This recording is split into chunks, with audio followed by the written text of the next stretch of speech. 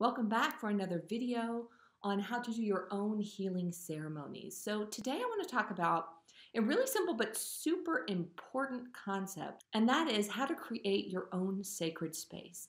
Now, if you're new to Ivy and Light and Lula May Design, if you're new to our YouTube channel, then you might not know that I live a fairly nomadic lifestyle. I'm based out of Brooklyn, but I travel a lot.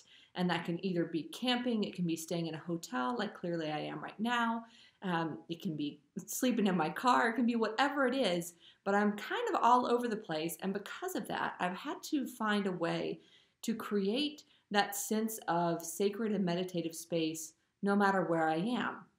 And so this can be great for you if you're always at home, learning how to do this kind of once uh, and, and then maintain it, or if you're like me and you travel a lot, how you can do this anywhere. So let's jump in.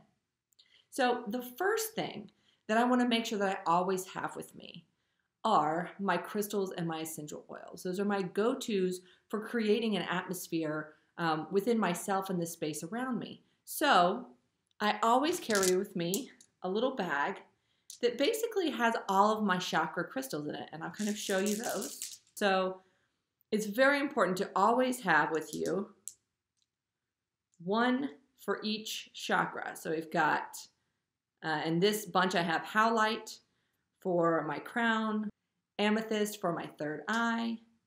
We've got turquoise for throat, rose quartz for heart, citrine for solar plexus, carnelian for sacral chakra, and mahogany obsidian for root.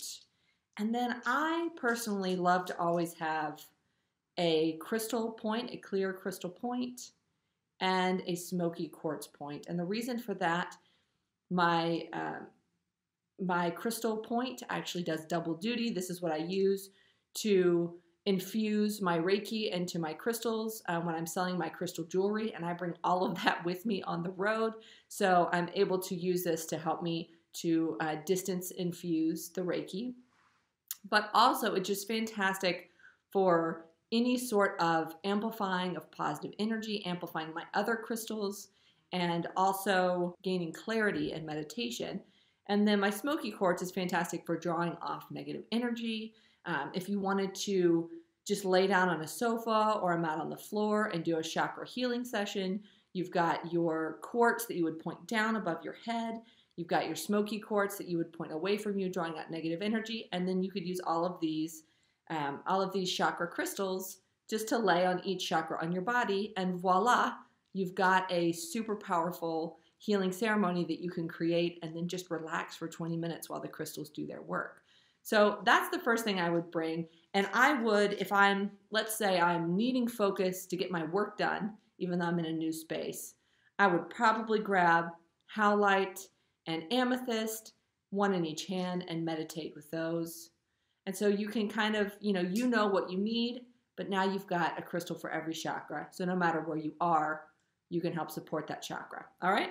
So the next thing is that I always have with me a bag of essential oils. It's got all my ones I use every single day for supporting my hormones, for supporting um, confidence, for uplifting my spirit, and all of that good stuff. Then I would like to bring when I travel either Palo Santo oil or sage oil. And so both of those can help me clear my own energy even if I'm, I'm in a new space and I don't know how, you know, what the energy situation is going to be in the space that I'm in before I get there, right? So all I have to do is take a drop of sage, okay, rub that into my hands, breathe that in, put it on pulse points, Put it on your temples, the back of your neck, bottom of your feet is fantastic too. That absorbs essential oils incredibly quickly, incredibly quickly, and gets it into your bloodstream to the rest of your body. And of course, when you're breathing it in, you're providing support directly to your emotion center, directly through the limbic system. So, having those two cleansing oils helps me to set that space and just have positive energy within myself and the space around me very easily. If I want to go ahead and cleanse the energy of the entire space that I'm in, say I'm in a hotel room, right? and I don't know who's been there before. Um, maybe it's not my favorite place I've ever stayed at, and I just want to make the best of it. Well, then I can take some actual sage, not the oil, but the plant sage or Palo Santo, and I can actually do a cleansing ceremony throughout the space. So I like to carry, I've got this little plastic bag to make it easy, but I like to carry just a little branch or just individual sage. It's easier for me to pack than a bundle, right? It fits smaller, but you could also carry a sage bundle. And then just a stick of Palo Santo. Now, the sage is super easy to use no matter what space you're in because you can just take a leaf, right? I could light this leaf. I can light this leaf, I can blow it out, and then I'm cleansed, the space around me is cleansed, and I can literally take this one leaf and I can start at the front door. I can work my way all the way through. I'll keep a window open to let that negative energy, that, that low air quality out. And I will end up after doing all of the corners, underneath the furniture, everywhere from point A at the front door to point B at the back door or the balcony or what have you. And then this is very safe because you can then just put it out uh, in the sink or right, pinch it out like this. Now I'm not worried about fire safety or anything like that. Palo Santo, on the other hand, I would light and then I would let it burn down. So I would want to put this on a ceramic dish. I'd prefer it to be my own just in case there's any smoke residue left. So it's a little a little trickier to burn Palo Santo indoors.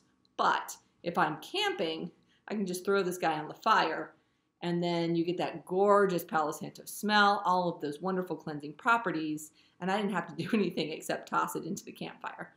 So those are the two options uh, that are very, very simple. You can do at home or anywhere you're staying, and immediately you will feel a, a lightness in the air. You will feel a shift in the energy of the room. You'll feel a shift in the, the energy of yourself. Okay?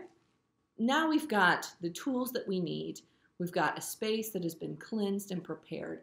So, how would I go about doing my actual sacred ceremony, my meditation session within a new space or within a space that you haven't set up yet at home? So, the first thing that you need, obviously, is going to be a place to sit. So, for example, here, I've got a comfy couch, right? I can just uh, cross my legs if I want to, have my feet straight on the floor, whatever is more comfortable for you.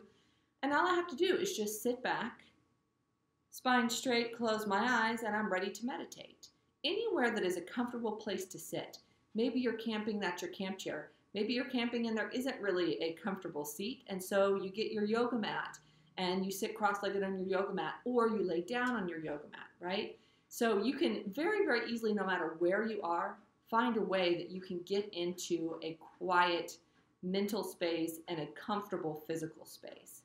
The second thing, and I'll, I'll come back to you just so my volume's better. The second thing that you need is time. So if you have kids running around, you have a partner that's with you, you have friends that you're, you know, that are staying with you, whatever the case may be, your cell phone that might be sending you notifications, you want to make sure that this time that you're meditating or this time you're doing a releasing ceremony or intention setting or whatever the case may be for you, that this time is a time just for you. This time is a quiet time and there's no distractions so that you can get into that space, get as deep as possible, get as much out of it as possible, and then re enter your day in a more calm, focused, and purposeful way. So, you want to make sure that anyone who's with you knows you're taking some time. You want to make sure that you turn off your cell phone notifications so that's not bothering you. Whatever you need to do to solidify that time. All right. And the third thing would be the quietness, right? The, the sense of calm, the sense of um, being alone, being being enveloped in in a sacred space and time. And that really comes down to either being able to find a quiet place or being able to find music that works really well for you. So I have uh, I'll provide a link below, but I have an audio book that I use through Audible that helps me do some uh, sound healing, helps me vocalize and tone all of my chakras. So that I don't need the internet for, which is fantastic. I can just put my my earbuds in and I can just listen to that music and I can be out in the middle of nowhere and it doesn't matter. You can have some music saved to your phone, or if you always have internet access, you can have a YouTube playlist. You can um, use Insight Timer.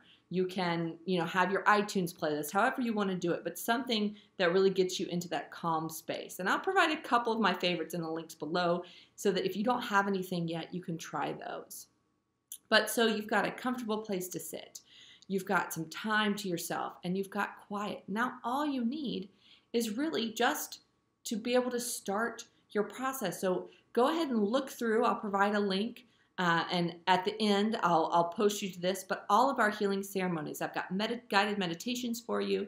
I've got uh, how to do a releasing ceremony. I've got how to do an intention setting ceremony. So if you don't know how to do any of these already, you can go ahead there and you can learn how to go through those special sacred ceremonies. Um, if you have a, fa- a favorite meditation that you do every day, then you're good to go. This was all you needed. So I hope you see that just in um, uh, this little amount of space, I've been able to compact all of the things that I need in order to create a sacred space wherever I am. I would love to hear your story. Where are you? What are what are the things that uh, that you struggle with in terms of finding a great place to meditate? And what are some of the tips and tricks that you have? Let me know in the comments below. I would love to interact with you, get to know you better. Make sure you subscribe so that you can see when I add more guided meditations. And until next time, love and blessings to you all.